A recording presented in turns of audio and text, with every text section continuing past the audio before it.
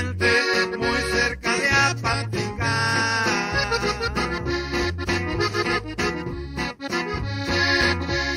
Y en donde vivió su infancia, nunca lo podrá olvidar.